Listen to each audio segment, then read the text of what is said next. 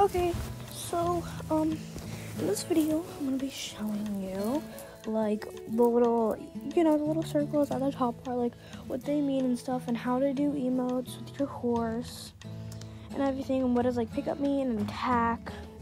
Basically, oh my god. um, so yeah, basically just you know little things.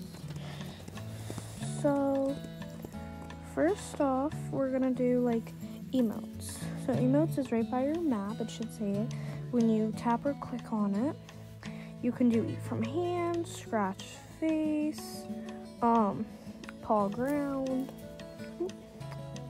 you know, angry, relaxed. Some of these emotes they'll actually do like if your horse is grumpy, they might kick you or buck you. They might do like the Maddie emote if you pet him or something, or even if you're just like standing there. If you have a grumpy horse, like with that personality, the grumpy personality, they might do it. Um, but yeah, if you have an energetic horse, they might speed up randomly. If you have a lazy horse, they're gonna slow down randomly. Maybe I'll do like a quick video about personalities and what they do and stuff. Um, yeah, this is what you do when this is tack. Like you can put different accessories on and auras. This is what happens when you press pick up. It basically goes, the horse goes into your inventory. Um, yeah. So the little things on the side that says gait plus and gait minus. I think we all know what stop means. It's basically going to stop your horse at any speed that you're going. If you're going, if you're going higher than walking, I am pretty sure, or you might be able to do it with trot. It just depends the speed of the horse. I think if you're going higher than walking, though, and you just press mount or like dismount, if you press the dismount button, it's gonna make you fall off. Um, like if you don't stop it, you just press the dismount button. It's gonna make you fall off. Um, so yeah, remember to press stop and then dismount, or just speed like press minus gait.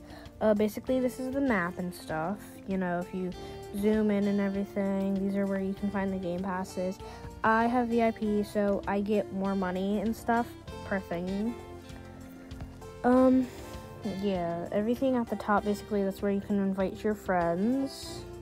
And I think I showed you everything else, like the settings, your profile. Um, yeah. The thing at the bottom is your level. Uh, little backpack is where you have all your stuff and your horses. The thing at the bottom is your lasso. You can craft those in your backpack. I'm pretty sure I show that in here somewhere. Um, and then your pickaxe, you can also craft better pickaxes, I think, or you can buy better pickaxes. I'm not sure. Um, but yeah, there's not too much to it. Um, it's my pickaxe. My lasso. You can use lassos to capture wild horses. But Here's where you craft them. So you can craft carts, which is a vehicle. You have to get a harness though for any horse to pull a cart. Driving harness, you see right there. And lassos. You can obviously color different stuff.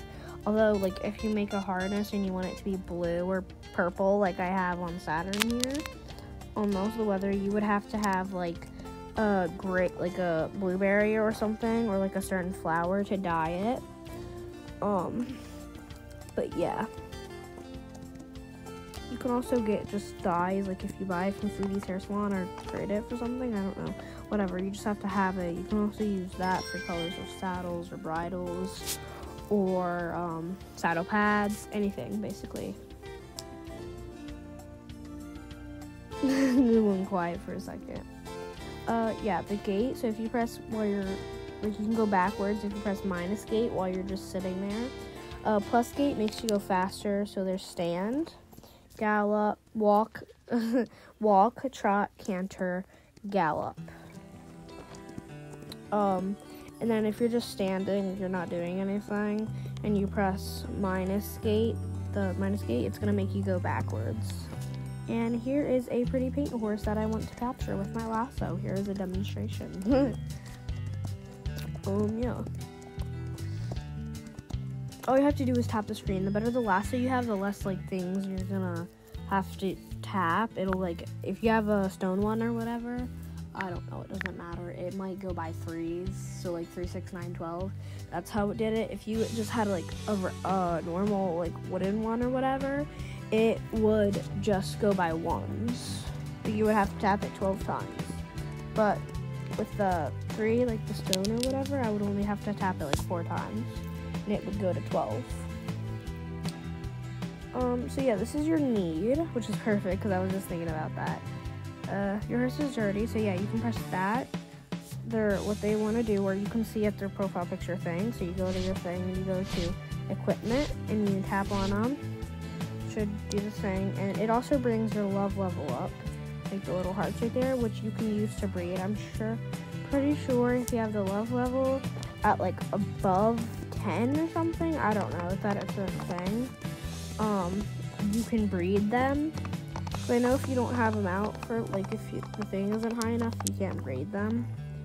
Um, this is like what would happen if I looked at someone else's horse or mine. That's a Clydesdale mixed with a Friesian. Very pretty. Um, yeah, you can see like the speed and stuff.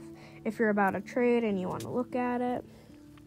You want to trade someone, I can't do it because they're on their horse, but you just crap on them you can press co-breed or you can press like trade or inspect their horse that they have out or whatever. I'm not very sure, but it's one of those. This is my Andalusian. I think that's how I say it. Andalusian. I don't know. Honestly, um, I captured her in the wild. I found her here at mainland. I was by the breeding center. But yeah, anyways, thank you for watching. Comment if you have any questions or you missed out on anything. Bye.